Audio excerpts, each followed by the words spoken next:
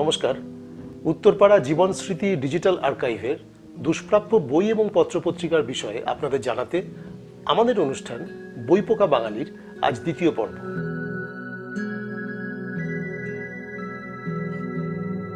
এই পর্বে আমি পার্থ, আপনাদের সামনে আমাদের আর্কাইভের তাক থেকে নিয়ে এসেছি তিনটি অত্যন্ত গুরুত্বপূর্ণ বই। প্রথম বইটি দেখুন।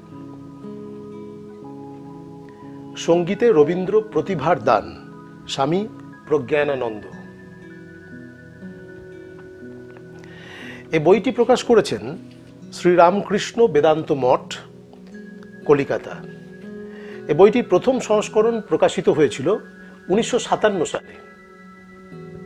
দ্বিতীয় বইটি আপনাদের দেখাই।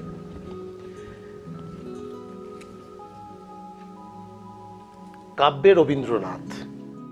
লেখক বিশ্বপতি চৌধুরী। বইটি প্রকাশ করেছেন মিত্র ও ঘোষ।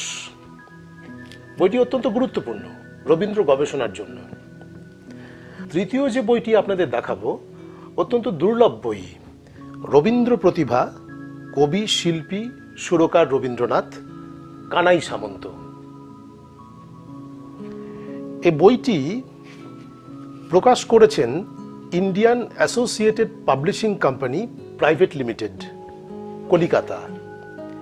বইটির প্রথম প্রকাশ বাইশে শ্রাবণ তেরোশো আটষট্টি।